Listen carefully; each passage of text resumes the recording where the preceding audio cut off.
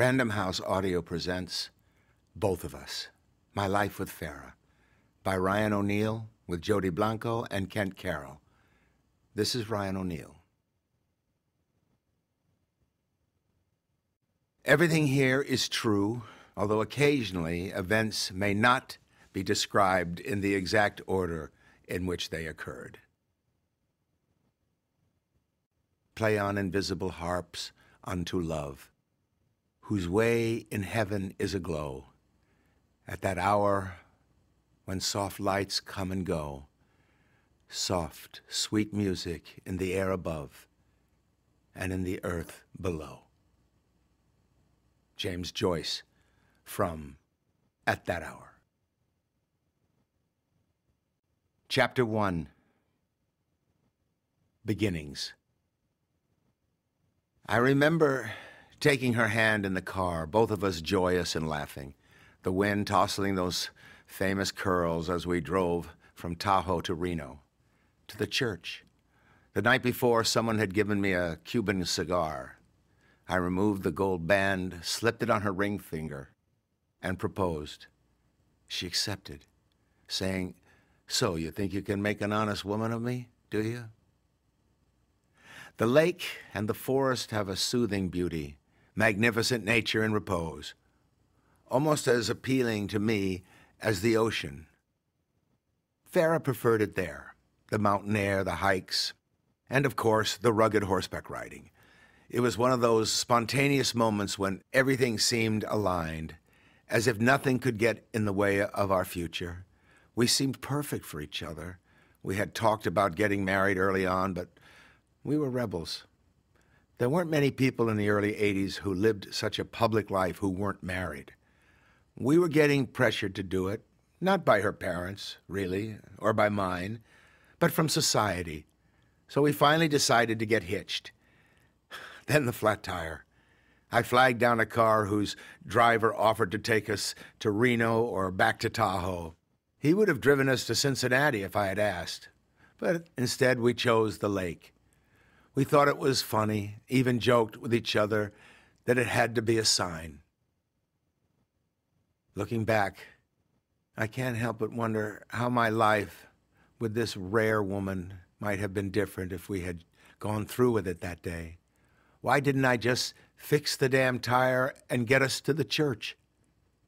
Instead of finding a way to follow through with our plans, we let it go. We laughed about it for years. It wasn't the hand of God that flattened our tire that day. It was a lousy shard of glass.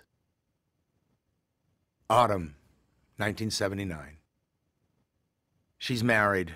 Her name is Majors. I don't know her from Adam. Well, Eve.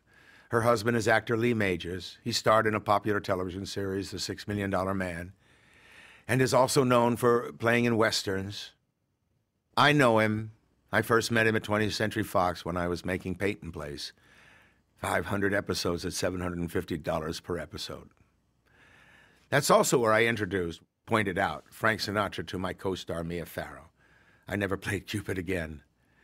Leah's in Toronto for a movie, and I'm there visiting my daughter, Tatum, who's shooting a film with Richard Burton. She's 15. Tatum and Lee run into each other, and Tatum says, You know, I'm Ryan's daughter. Oh, yeah? Where is he? He's at the hotel. Next thing, he's calling me. Come down and have a drink with me, he says. So I do. And we get a little drunk together and decide to have dinner. Tatum joins us. Lee and I are both leaving the next day. I've been there a week, and he says, Well, let's go home together. We'll take the same plane. He changes his flight. Lee is a companionable big guy, worth at least five and a half million. We fly home together, and the limo drops us off at my house in town. It's on Tower Road, up Benedict Canyon, high in the hills, part of the old John Barrymore estate. We let the limo go and take my car. He lives farther up the hill near Mulholland on a street called Antelo Road, which has gates. And there's this beautiful girl waiting for him. She's delightful, full of childlike warmth. There's no pretense or cattiness about her whatsoever. She's vibrant and wholesome, refreshing in this town. They kiss. We play racquetball. They have their own court. And then she says, Stay for dinner, which I do. She whips up this delicious meal of fried chicken with mashed potatoes and thick country gravy, a Texas treat. Farrah is so sweet to us. Lee's a heavy drinker, kind of a sad drunk. Their house is handsome, a tasteful blend of Western style accents and fine antiques. There are pictures everywhere, mostly personal photographs. Years later, an earthquake will destroy the place, and the cacophony of glass breaking, which frightened everyone, will turn out not to have been the windows, but hundreds of photographs emerging from hundreds of frames. Lee takes me on a tour of the house. He shows me his closet. It's a room you can walk into deep and wide. He must have 75 pairs of boots. Well, where does Farrah keep her stuff? I ask myself. We walk down the hall, and he opens a door to a room you can barely turn around in. Farrah's clothing is piled in there. Some months later, Tatum and I will make the switch. Farrah's duds get the grand space. Lee's, we move to his den.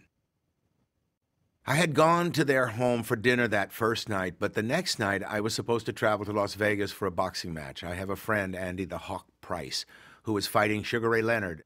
I'm a fight fan as well as an ex amateur boxer. And Farrah says in this lilting, ever so slight Texas drawl, Well, isn't that fight on TV? I say, uh, Yes, it is.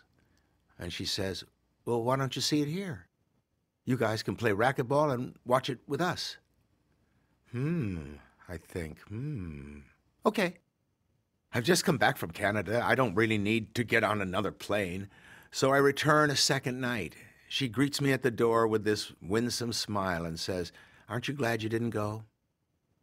And that night there's drinking. She doesn't drink, but he does. I drink a little. I'm watching them. And after dinner, they start to talk about their relationship. I'm sort of encouraging them, saying things like, You're a wonderful couple. He's a man of few words, monosyllabic cowboy type. He's not naturally funny. Farrah is more natural, open, and she doesn't have any compunction talking about their problems. She says when they were staying in Nevada, he had a boat on Lake Mead. He was a TV star at this point, not the Six Million Dollar Man, but he was in a successful Western series with Barbara Stanwyck and Linda Evans called The Big Valley. It ran for three or four seasons. This was before Farrah's fame from Charlie's Angels and the poster that had made her the fantasy of every teenage boy in America. Lee would call her from the bar near the hotel and say, Oh, get undressed, I'm coming home. So I'd get undressed, she tells me, and I'd wait for him, and I'd wait for him. He wouldn't arrive, so eventually I'd get dressed again. She says this more in resignation than bitterness. Well, that's the kind of man I am, he responds. You knew that when you met me. I can see that the marriage is not the happy mating it once was. If reality shows had existed back then, this relationship would have been perfect fodder.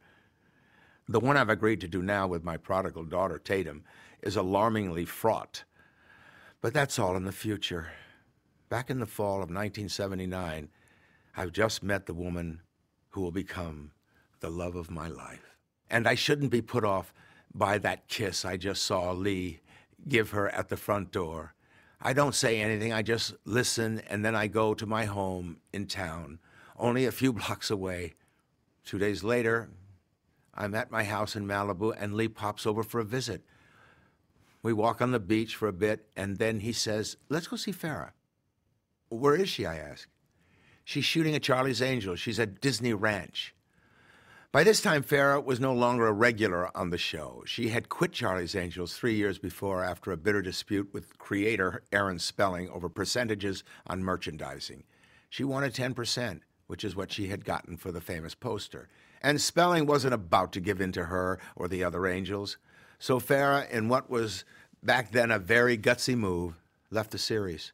Spelling sued, and it was settled out of court.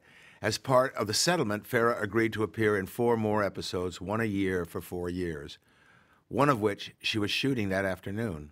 Although she was now being paid $100,000 for each of the episodes, compared to the $5,000 per episode when she was a regular cast member.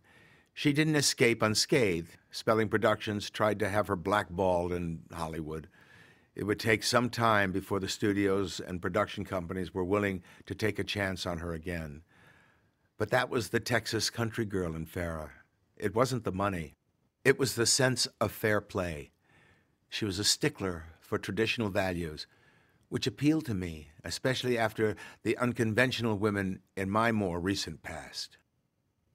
Disney Ranch is a long haul on the 405 freeway. There is this huge backlot that productions can lease for location shoots. We drive out there about five in the afternoon, and when we arrive, there she is on horseback. She rides beautifully, confidently, and she gallops. We hope you enjoyed this preview. To continue listening to this audiobook on Google Play Books, use the link in the video description.